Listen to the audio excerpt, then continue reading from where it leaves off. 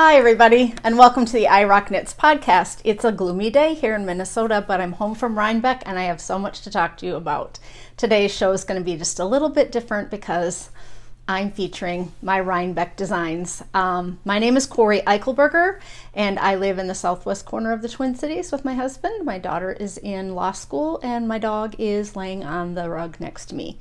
So hopefully, he will take a good long nap uh, so we don't get interrupted. Let's go right into the audiobook of the last two weeks. I have a favorite author to talk about this time and a new book that he has just published. It is called The Lager Queen of Minnesota and it's by Ryan Stradal, and he is a Minnesota writer. I have talked about his book, Kitchens of the Great Midwest, before uh, because it was one of the books that I really liked in 2018, and so I've told lots of people to read it. And as I was walking through the library, I was teaching there this fall on Wednesdays, and I saw a poster that he was going to be coming to the library to speak. And he is a, a local author to us, probably from about an hour away. And so I decided that I wanted to read the new book quickly so that I could do that. So here is the info The Lager Queen of Minnesota It was a 11 hour and 13 minute listen. It didn't it came out at the end of July and I loved it. I thought his first book was great, but I did have some people say that they thought that there was some bad language in the first book. I hadn't noticed. I just listened and I don't think I noticed that it was, you know, it was not offensive to me in that way. Um, so I don't know if people go on to read a second one, but I did not find that to be the case in this book, and maybe I was just a little more attuned to trying to listen. But um, this is a book about uh, a couple of sisters, um, one who is kind of grows up. Um, uh, leaves home and is very poor for many, many years, and the other sister um, wants to become a brewer, and so she goes to Macalester College, which is in St. Paul, Minnesota, and uh, gets a degree in chemistry so that she can learn how to be a brewer and brew beer. And uh, it's kind of the stories, the familial stories of those women and how they survived and functioned in the late 60s to early 70s into the 80s and then to current day. Um, one of the sisters, uh, one of the sisters makes pies in a nursing home, and a local reporter, for some reason, eats there and loves the pie and rec- and says that it's like the, one of the best pies she's ever had in Minnesota. So people start lining up. They want to eat in this nursing home, and in order to eat in the nursing home, you have to eat with the residents. So then the residents start becoming friends to all these people. So it's it's quirky. It's a little kitschy, um, but she is you know loves to make pies and so she becomes super popular. It, yeah i just really found it fun. It was just a great read very interesting. Um, yeah i i could not stop listening to it on in my travels of the last two weeks. Speaking of i'm home. I have landed and I'm staying here for a while. I don't have plans to, to leave again. I got my trip to Michigan, uh, to Wisconsin and back, to Wisconsin again and back, my fall teaching at the library, and my trip to Rhinebeck all taken care of in the last two months. So I was on the road an awful lot, but now I'm here and uh, to be at home for a while. Um, the book that I started reading just in the last little bit um, is All This I Will Give to You and it's by Dolores Redondo, and it is a um, book that I believe was originally um, written in Spanish and has been translated. And it's a bit of a murder mystery, but also family ties. And so um, I am, I don't know, nine hours in or something. I'm really enjoying it. So there you go. There are your audiobooks this week. Um, go over to the iRockKnits Designs group, Ravelry Thread podcast group, and put in your suggestions for audiobooks. I always go over there to read what people are suggesting. We did have Carolyn D.P. go over and give us some recommendations this week for a series and two books, one of which I've read. But um, if you are looking for recommendations, she gives a good descriptor of what the books are about. So you might want to take a look at that. Um, let's um, talk about the elephant in the room, shall we? I have on my Halloween costume for all of you. This is a knitted vest that I designed back in the day out of orange cotton yarn with white uh, fun fur around the edges. It's long, it goes down past my rear end. Um, I have another one to show you, so just hang on. I'll grab it.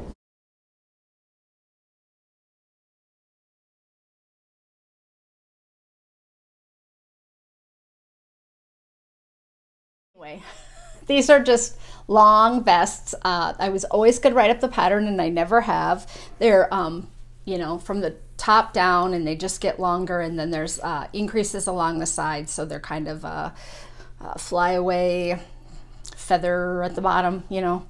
I don't know what that's called when they're longer and sh shorter and longer. Anyway, so if, if, you're interested in that as a pattern, let me know because I've never written it up, but I probably should. Uh, it was an easy knit and kind of fun to wear over things. And I thought, oh, you know, it's a good month for people who wear orange glasses. Right?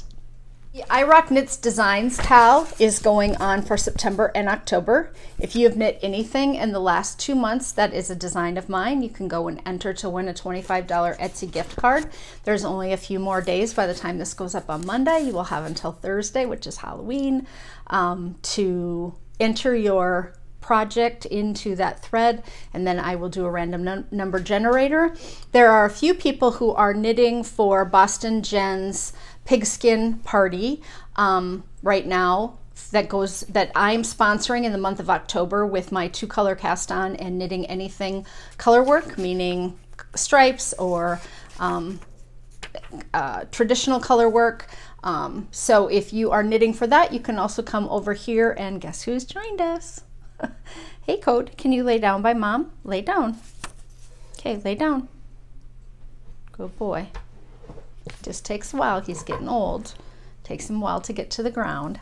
So he he's uh, he turned nine, and um, his hips bother him. So that's kind of a bummer. He, he wanted to play with the puppies at the dog park this morning. They were running in the field. There were three of them that we eventually met up with, and he just kind of stood and went, "Mom, I can't run that fast." and I thought, "Neither can I, buddy. Neither can I." So and then the one guy, I said, "Oh, Cody, you're you're an old man. You can't you can't run with those dogs." And the guy said, "Oh, what's wrong?" And I said, "Oh, he's you know he's nine. He's not that old, but he has trouble with his hips and he can't get up off the floor if he over exercises." And we do exercise him every day. My husband runs and I walk, but uh, anyway, so yes. I have a video that I'm going to stick at the end of the podcast today, uh, several videos actually. I had, when I was designing uh, my sweater um, for Rhinebeck, I had a moment where I needed to rip back a whole bunch of rows. And so I took my needle, a smaller needle, and I just went down about six or eight rows and picked up the stitches all the way around so that I could rip it all back in one fell swoop and then have those stitches be live on the needles when I was all done. And in that moment, um, we were up north and I said to my husband, come videotape me doing this. So he did. And so that's been on my phone for a while. So I'm just going to share that briefly. Um, I have not been able to find a video of that out on YouTube. So I might put it out there too. It depends on if I can find one one um, that's already showing that technique. Um, I don't really know, you know, it's called ripping back, but it's not a one, a one at a time. It's all the rows. So I will see about putting that um, out on YouTube as well. So I'm just going to go under the right leg of every other, every stitch, but I, I just go under, skip, under, skip, under, skip, under, skip, under, I'll do a couple more here, under, under, and then when I pop them off the needle like this, I can take back four rows because I'm just going to pull out one row, that's the second color work, two, I'm taking out the next one, next one, next one, and then we got live stitches on the needle. So Excellent. maybe that'll be helpful for some of you who've never done that before. I have a couple of new classes that I'm offering. Um, Fixing Mistakes is one of them. Um, beginning Brioche Latvian braid. So I have a few classes on my new website. If you have a knit store that is local to you and they are looking for a teacher for any type of event, if they want to bring me in or have me come for a retreat or some type of weekend, um, they can you can kind of tell them to head over to the website and take a look at all the classes. Everything that I teach now is listed there. So finally, great use of that website. I'm so happy that so many of you went over and got a free pattern and kind of signed up and took a look at the new site for me. Um, oops, I'm bumping the table. Or Cody is. Sorry. We'll be careful. You know, one of the things that I was showing on the podcast, I don't know, several months ago were some shawl cuffs that were leather kind of bracelets that you wrapped around a shawl like right here in order to hold your shawl in place and although I own two of them and I think they're a really neat convenience um, it, they can cost a bit of money. So I was at an event and saw someone wearing one of these and I thought I would share it. So you can make yourself a shawl cuff. So here's one of them and it's ribbed and I'm sure you could figure this out on your own, but for $2 you can go and um, a, Andre Ann has written it out for you and it's considered jewelry. You can wear it as a bracelet or as, and here's a second one. So it's a knitted shawl cuff. This one's more in uh, garter or seed stitch. I can't remember. There it is with the two buttons on it. So that could wrap around just as easily. You could use scrap yarn. The second one is for free ribbed shawl cuff. And uh, it's worsted or Aran weight and she used hand spun yarn and uh, the needles are 3.5 to 4.0 millimeter needles and you just want to create a dense fabric and so that one's free and then this one is called Lunat lunatum lunatum um, I don't really know what that stands for. I don't think it says on here. Let me look. Or some of you aren't wearing your shells and that might be a reason um, because they they're you have to fuss with them all the time. So that might be a thing that you would want to check into. Okay. Today's podcast is going to be all about my crazy idea. and I have them both here. Amber um, sent her skirt home with me from Rhinebeck, um, or sent it to me when she got home because she drove, and I had I had to send another purchase home with her in the car. I bought a kind of a table runner out of those felted balls, and it was pretty bulky. So she took it home and then shipped it to me. So this is Amber's skirt that I knit for the occasion. It's not much longer than this, but I'll just show you where the bottom goes to. I have it pulled up real high on the mannequin just to show it off. And then this is my Rhinebeck sweater, tunic, dress.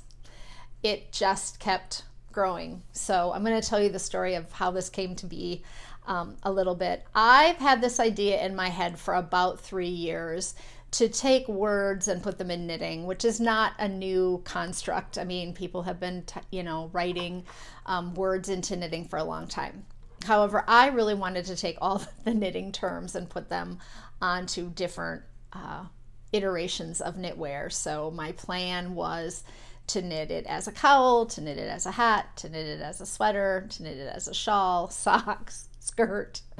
Um, but we were working on the book at the time, and it didn't really fit into what we were doing with the book when we were both doing a take on uh, different ideas. Uh, so I kind of put it on the back burner. But I have a design folder that I go through to, you know, to see what my ideas might be. And I saw it and I thought, this is the year. Going back to Rhinebeck because it was my friend Renee's 50th birthday and we wanted to celebrate. And I thought, I'm going to just get it started and see if I can't make it make it work. So this is what I had to do in order to, and this is going to blow out a little bit, but these are the charts that I had to do on the computer in order, in order to figure out what words I could fit on my skirt.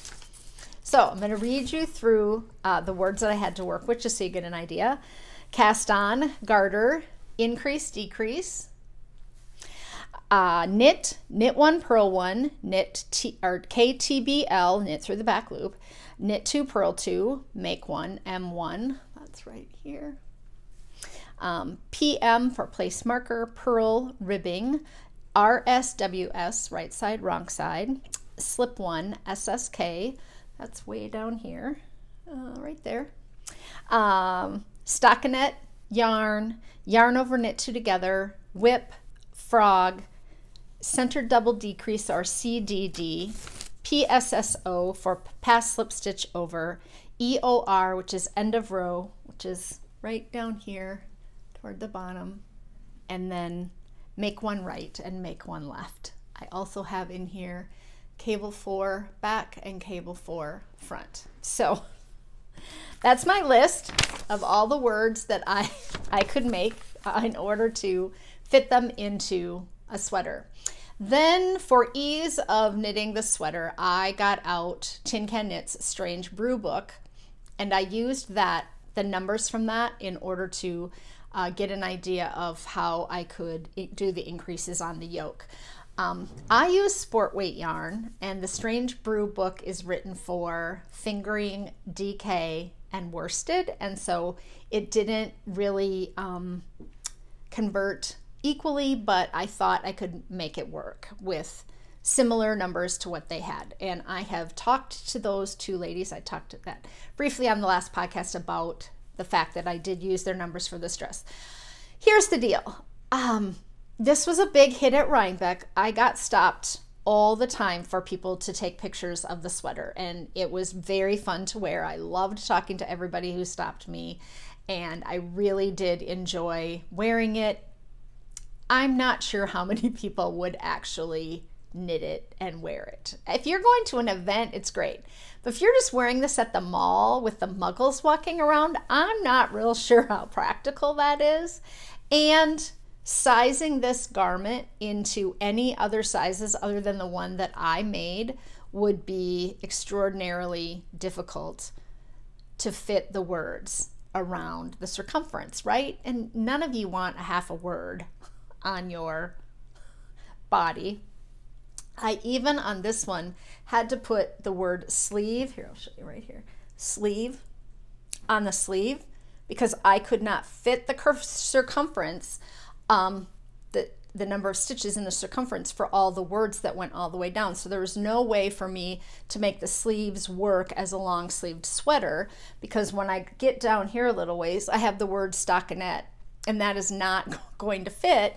You could have a half a word on the sleeves, but it's going to be a little wonky. And there's already a whole lot going on in this sweater. I use Jill Draper Make Stuff yarn, uh, the Mohonk, which is uh, sport weight, and it's very spongy, um, kind of a ru- more rustic wool, although not itchy in any way at all. And when I started, I started with the words being fairly short and squat, so the knit and the purl. And then you'll notice as I go down, the words could get taller. This one's short and short. And then some of the longer words needed to get taller in order to make them visible to even read it well, which is why I had to rip back sometimes because the R's and the K's didn't look very good. They didn't look like an R or a K. So anything that had, um, or the P, sometimes the, um, the P uh, didn't look great. So it was just a lot of trial and error to go through. So as soon as I would get to the next number, then I would say, okay, I have 276 stitches on the needles. What number is divisible. And then I would have to sit with my pen and paper and say, okay, I have something that's 28 stitches wide. I have something that's 29. I have something that's 12. I have something that's 18, something that's 34. And then I also had to figure out how many spaces would go between each of the words. Because some of the words it was okay if they just kind of bumped up against each other, but other ones needed to have some space. So then you would figure out, okay, this one's going to have four spaces here, but only two spaces here in order for it to be readable. So it was just a matter of plugging numbers into the circumference that was going to fit my shape and my body. So when I got this all done, Amber had been um, lamenting the fact that she didn't know if she'd get her sweater done for Rhinebeck, and um, Matt had knit several sweaters for Rhinebeck, and um, but Renee and uh, Stacy was still working on her. So everybody's always in this kind of state of, am I going to finish? Am I going to get it done? Can I finish it up? And my this one was done, And that's when I decided that maybe it would be better to have a product that came out that was more like a skirt where the numbers wouldn't have to work in a yoke and in a chest and in a body circumference. So I decided to just go all in for knitting the skirt and see how it would work. So Amber knit my um, pattern, the I Rock the Beach Pontini, as a skirt for Rhinebeck. And when she was done with it, I asked her to mail it to me because I had mailed her a sweater. And I said, When you mail that back, can you mail your skirt? I want to try your skirt on because I would like to write that into the pattern. So I will be doing that. Amber's going to share what she did for her numbers, and I took all kinds of information off the skirt that she knit. And it's just adding, you know, more circumference to the actual skirt. But because I had Amber's skirt in my house and I could measure all the proportions, I could, I knew going in that I could get a skirt done that would fit her. Although hers was flared and this one is just a little A-line, it just goes out just a little bit. So I did a turning row up here about about an inch of ribbing and then there's a piece of one inch elastic put in there and I just sewed that over. So I did two and a little more inches of ribbing at the top and then folded that over with the one inch of elastic in there. Then I just knit a bunch because it's never gonna show if you're not if you're not going to tuck your shirt or whatever into this, which I knew I wouldn't, and Amber probably wouldn't either. So I knew that whatever she wore, she would wear, wear out. So why do all that color work if you don't have to because you want certain words to to show. So this one says knit and purl and yarn over knit two together and cast on and ribbing and yarn and stockinette and knit one purl one. That's what this this skirt says. And it fit Amber beautifully. Ironically, she had bought a new white shirt uh, to wear and she had purple leggings and uh, pink shawl that she had wrapped around her neck and these are her colors like she she's a bright she loves bright colors but i knew that if if she has her druthers she will pick a pink every time you can see here that i had a little bit of trouble with the light and the dark of the yarns matching up a little bit. So this one reads a little bit better. And that's true of this one too, that anytime you have this, this is actually lime green. It's kind of showing as a yellow green on the screen, but it's lime green on purple. And that row and the pink and the blue shows more than the red and the light blue, and especially this kind of tealy green with the rust. And so you have certain words that will pop out or not pop out. So I have to make a decision about how much time and energy I want to put into writing up these ideas. Um, I had originally um, entered a design contest with these patterns, which is a little over the top. I kind of knew going in, but I was not one of the chosen um, for that design contest. And so I will be writing some of this up as I go. I had to have three designs for that contest. It was um, through Vogue Knitting Live. And I had a third sweater idea that I did not knit yet, but is basically on the needles. I It's a bottom up, and I just have to do the color work in the yoke. And so there would be th a third concept for another sweater for knitters with words on it. Um, I have to decide which product is more marketable in the long term. So this one could be a poncho and it could be a skirt. This one could be a yoked sweater with just words up here. And this would all be solid. I just have to decide, you know, how much energy I want to put in. I have a, a tech editor, new tech editor that I'm working with right now um, who did my website. And I have to figure out, you know, what the value is of me hiring her to, to do my numbers, as well as hiring test and sample knitters to knit the projects because then you know that costs me more money and then when i turn around and i can only sell the pattern for seven dollars and i'm in it you know before i even get going for maybe several hundred to 300 up to 400 dollars then that's a lot of seven dollar patterns to even break even, right?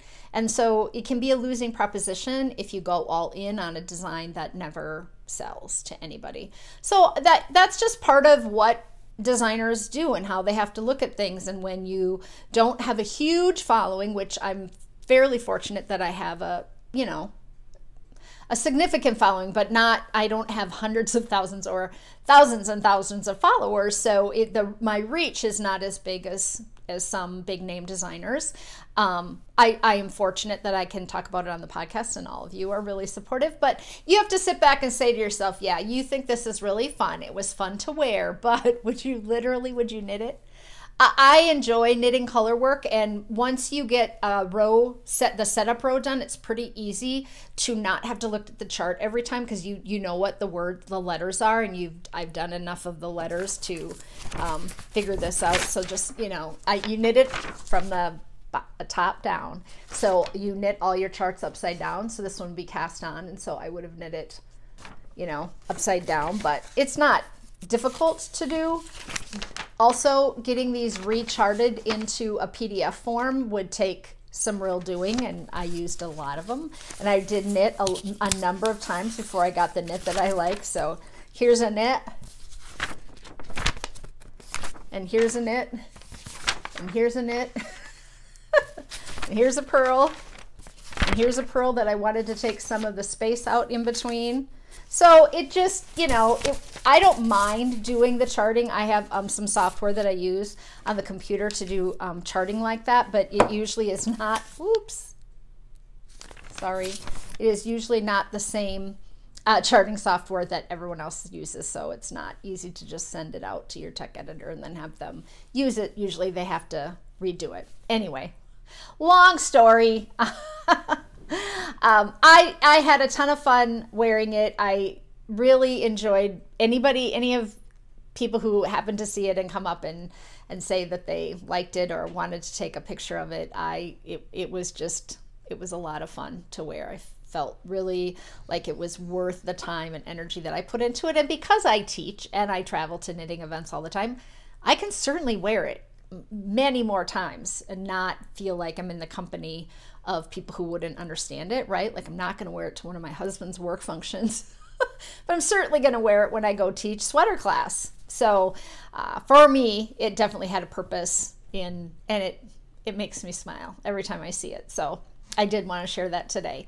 I'm going to tell a little bit about my trip to Rhinebeck. I have video footage for you of of a bit of it um, at the event, and then uh, Renee and Matt and I left on Monday and we drove to Nor- Northampton, Massachusetts, and went to WEBS. And so I took some video footage of WEBS, uh, America's Yarn Store. Um, it really wasn't about going to buy more yarn because we'd been surrounded by yarn for three days, but it was about just seeing it and then having our picture taken in front of WEBS. And it was only maybe a half an hour out of the way because we flew into um, Hartford, Connecticut um, on our way out and back. And so we really wasn't that far from there. So it made for a great afternoon. We didn't fly out until late on Monday anyway.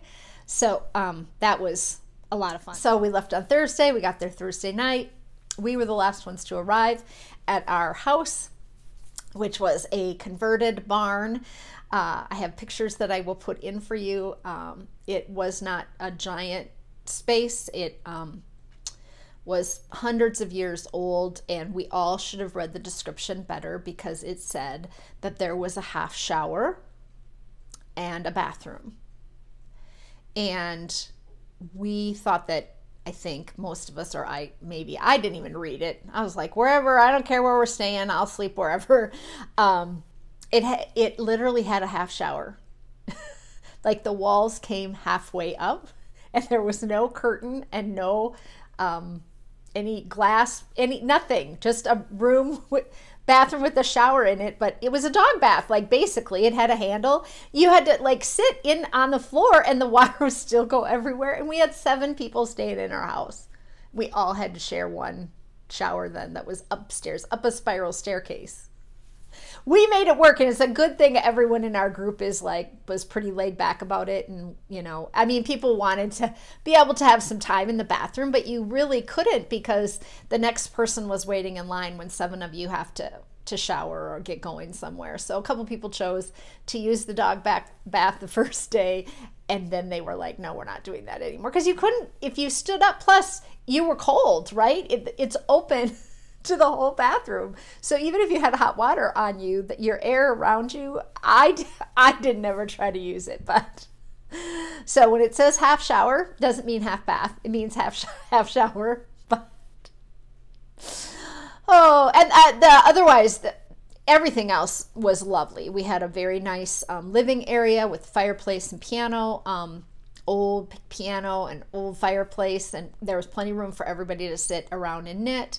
We stayed with Steve and Andy of Leading Men Fiber Arts and then Amber and Stacy drove um, and met Matt and Renee and I there. Um, and then they came with two other friends who stayed at a separate location, um, but they drove up. They got picked up part of the way up from Amber and Stacy, who ended up driving 12 hours straight through without stopping, but far more phys- physically responsible than flying because they shared the gas expense with you know four people. And so it was made it a long day but um, much much cheaper to do. So it rhinebeck is an expensive weekend no matter how you look at it. If you fly you have to rent a car. Pretty much it you know the Rhinecliff train station is about i don't know three miles five miles from rhinebeck I mean, you couldn't walk it. It's it's country narrow roads. You would have to call an Uber, which it's a pretty rural part of the country. And for this weekend, maybe lots of people are driving Uber, but so I don't know that you could get by even if you stayed in Rhinebeck. Then you have to you'd have to walk out to the fairgrounds, which is probably I don't know a mile. It's I mean it's not that far, but you know if you're dragging stuff or you're carrying stuff, it would be so. We did go to um, Indie Untangled on Friday. We had tickets for um, to go through that. And most of us didn't have things that we necessarily were going to buy. Like we weren't going to come home with armfuls of things. It was really more about the experience of being together and then seeing people and standing around and just watching people go by and seeing what they were wearing. That's just so fun. I, I just love that part of it.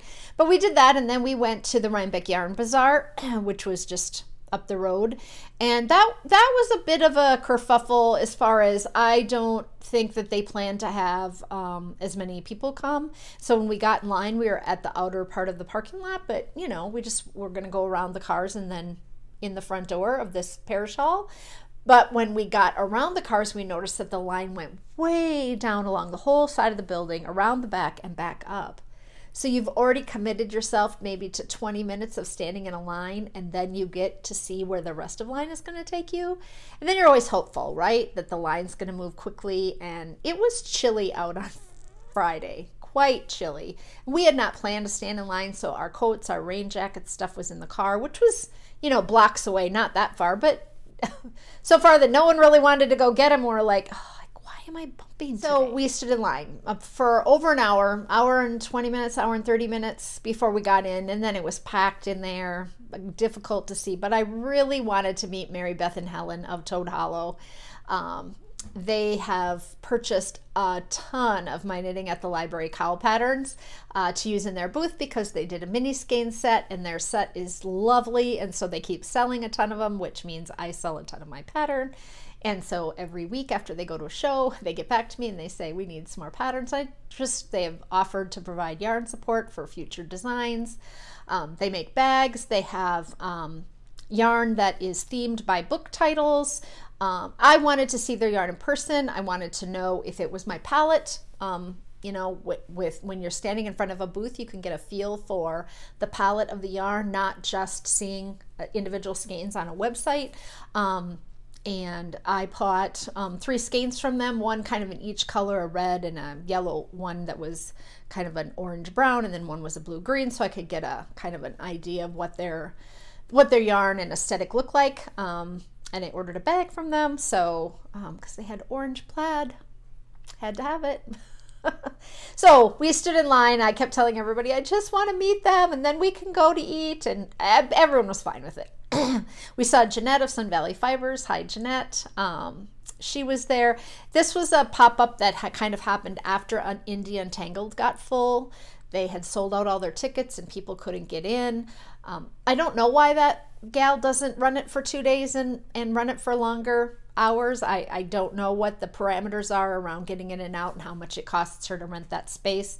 but it's full every year. They sell all the tickets and the vendors are full. So this kind of is an offshoot. If you don't like crowds, don't go to Rhinebeck on Saturday because it they broke attendance records. I think every year they break attendance records. I haven't heard the the final numbers, but it's usually you know around twenty thousand or 25,000 or 30,000 people that show up and it's spread out. It's a fairgrounds. And if you're outside and you don't go in the barns and you don't go in some of the big buildings, then it's not nearly as crowded. You can find space to sit and be outside on the hill. And there are a lot of people, but it doesn't get congested until you try to go into some of the barns and the booths that are most popular. And so we just don't go in. If the barn or the booth is too crowded, we don't go in because we know we're coming back on Sunday. And on Sunday, you can just leisurely walk into any booth in any barn without bumping into anyone. It, it's like, I don't really understand if it's just the locals who are showing up extra on Saturday, if people are only taking one day off work. I don't know why, but every year I've been, that's been the case. Um, I didn't buy a whole lot. I spent a lot of time walking and talking walking, then talking, walking, then talking.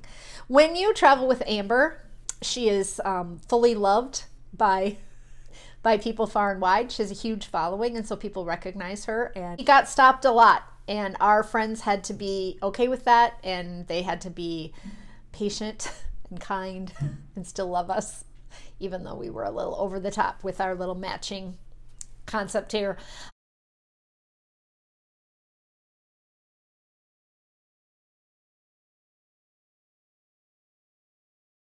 Um, and th- th- at one point, we, you know, we, we were just like, go ahead, we'll meet you at the end of the barn or at the next barn, or we, you know, we can text you and tell you where, tell us where you're at.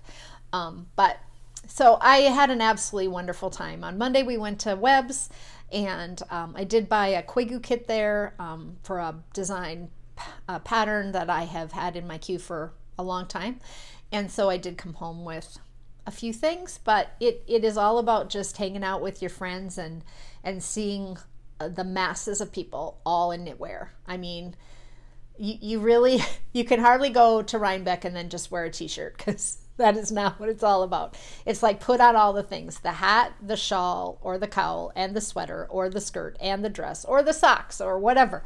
You some some form of knitwear needs to be on your body. It ended up being just a really fun weekend. I feel so blessed to have been able to go back again. So I'm going to end this today's podcast. Um, just I will put pictures in of the two designs so that you can get a closer look at them and shake your head at the craziness that is my brain uh, and how it works. And then I'm going to end today saying thank you to all the people who reach out every single week. I have great, amazing conversations with some of you um, back and forth, back and forth. I try to be really um, diligent about my responses so that I'm constantly checking and making sure that I'm on top of if you have messaged me at all. If at any time you have ever messaged me or left a message and you have not gotten response from me, no, it is because I have not seen it. Something has happened because I really spend a lot of time making sure that I'm up on anybody who's asking me anything or just commenting. So let's say hello to a few folks today Michelle Rudy, Stephanie Haberman, Sharon Quinn, Penny Gilbert, Diane Scott, Judy B., Gayle S., Robin Glasser, Kathy Goodman, Lisa Smith, Zoe Le- Leask, Beverly Bullock, Angela Jenkins, Peg Organ, Pat Wagner, Jesse's Mom 12, Lisa Gregg, Pam Bailey, Tami Semborski, Melinda Russo, Beverly Fauth, Melissa, Andrea Ribera, Olivia Manke, Rita Wood. Hi, Rita. She she and I went back a couple forth a couple of times. Karen Tumblin, PJ of Knitting with Quills, who has a new design out. If you like sea creatures, octopus, tentacles, all that, you got to go look at PJ's new design. Chris Osbourne, hi Chris. Eileen Tomaro, Chris Marie, uh, Karen, who is Wish to Knit Always on Ravelry, and Stephanie, who is So Just Ask on Ravelry, both reached out with really kind messages this week about my design, and I wanted to just say thank you to them. Um, at Rhinebeck, I saw the Knitters League gals, so hi all of you. That was fun to run into you a couple of different times. Uh, Choco Cat Mom Cheryl, I saw her. Um, I saw Helen and Mary Beth of Toad Hollow on Sunday, as well as in their booth on Friday. Um, I met Pam of the Knitting Place podcast, and for some reason, I I watch them intermittently. I watch all podcasts intermittently because oh, there's so many. There's no way that you can watch them all unless you're use, doing it as your full time job. But I do watch them intermittently, and I I don't know why, but all of a sudden I was like, oh, you have a podcast, and so I did meet her. Um, Kristy Glass, who um, did a worked all day long on Saturday taking pictures and video of people's sweaters. I mean, that woman works really hard. Whether or not you watch everything she puts out there, she is really she's really working hard to um, have content on her channel. And then I met Son of Bluprint, my friend Stacy, who is a test knitter and uh, sample knitter, um, introduced me to Son, who uh, works for Bluprint and which used to be Craftsy. And so it was I was really happy to meet her. Um, I saw Gale Zucker, who is um, who is the photographer for my book. And so we got to have a picture taken with her and give her a big hug. And I ran into Gigi Made It on at Needles, no, at Indie Untangled. Yeah. And I had my picture taken with her because I had a necklace made that says I Rock Knits on it. And on the way home, I took my uh, shirt off and I broke the little, just the little link. And so I will wear it on a podcast, but uh, I need a new O ring to hook it together because I took my thing off forgetting about the necklace. Good thing I didn't stretch the necklace out of shape. But I took my picture with uh, Gigi, and then I saw Cece, who honestly, I don't think that woman ever sleeps because she is always on the road, always working hard, always at some kind of event. Then I saw Sharon of Knit Style, the Knit Style podcast, and um, so if you haven't watched them, that um, she and her husband do a podcast. And then I saw Dunder Knit, which was really fun. I kind of fawned on her for a minute and said, I, I'm swearing friendly, which she has a swearing friendly podcast, but why I blurted that out of my mouth in that moment, I'm not really sure. Maybe she gets that a lot. I saw Boston Jen and her mom, so it was good to see them. I saw Lindsay of the Veteran Stitchin' Bitch. So, hi, Lindsay. We got to chat for a couple minutes um, amongst the crowds. Uh, she is looking for um, people to teach veterans, people to donate uh, yarn and needles to veterans who want to learn patterns for veterans. Um, she's on Instagram as Veteran Stitchin' Bitch. So, if that is, um, I've talked about it in the past because I went and taught at our veterans hospital. Um, some of the therapists how to knit um, a while back. I've talked about it, but anyway. Um, and then I ran into um, Christina and Red Bank Mike of the Chelsea Purls podcast. Marion was there, but she was off to the side. And I love Red Bank Mike on their podcast because he's he does their opening. Oh, I should do that as my opening this time. Five, four, three. counts it down for them. It's just great. And he loves the Minnesota Vikings. So as soon as I saw him on Podcaster Hill behind kind of behind the ladies who were getting a lot of attention, I was like, Mike, Red Bank Mike, I think I yelled, I love the Vikings. He came over and we talked. And the more I talked, the more he was like, wow, you, you really love the Vikings. And I was like, yes, I do. Adam Thielen, he's my guy, even though he got hurt this week. Um, so anyway, and then I met Susan of the Flying Needles podcast or uh, yarn store out of Williamsburg, Virginia, which is one of the stores that I went to back in the day with my little handful of paper patterns and asked if I could sell. She's not, it's not the same store, but they had a yarn store there that were owned by some sisters, and now she has it. I think that's how the story goes. I want to forget to say hello to all of the La Crosse, Wisconsin Three Rivers Knitting Guild ladies who I went and spent time with on the Tuesday before Rhinebeck. So, hi to all of you um, as well as don't forget to go out to my website, irocknits.com, and put your email address in the subscription box. So, subscribe to. Then you'll get an email from me saying, Are you sure you want to do this? Because that's the law, that's how we have to ask. You click yes, and then you'll get a coupon code for any one of my patterns for free. Also, thanks to the Three Ply Podcast ladies. They shouted out my podcast, and that was so nice of them. If you haven't watched the Three Ply Podcast, you really should go over and watch. They, um, they're just, they're actually really good knitters and they have great energy. So um, I would highly recommend that you give them a watch as well. See, uh, we're just all adding to one another's lists constantly. Can't can't keep up, right? I'm just gonna have to start staying up past 1 a.m. Because right now that's my bedtime and I can knit until then and still function the next day, but it might have to go to 1:30 or 2 if I'm going to watch any more any more great podcasts out there. Also, if you don't have time to come over and comment, that's perfectly fine. Maybe you could just give the podcast a thumbs up underneath your little bar there if you're watching on an iPad or a phone. Just give it a thumbs up. That helps too. Lots of hellos today, which is why I'm putting it at the end. If you reach out to comment or tell me that you're enjoying the podcast or any of that, I really appreciate it. You have lots of choices and lots of things to do with your time. So the fact that you take the time to spend an hour with me every two weeks is an honor. And I feel really blessed to have the following that I do for this podcast. We'll get back to a sweater and a shawl um, on the next one. And Matt's going to come back and we're going to talk about his uh, sweaters that he knit for Rhinebeck. So he will be a guest in the next couple of weeks. I just have to figure it out with his work schedule, and then he'll be coming over to do that. So until next time, keep it colorful and waddle on. Bye.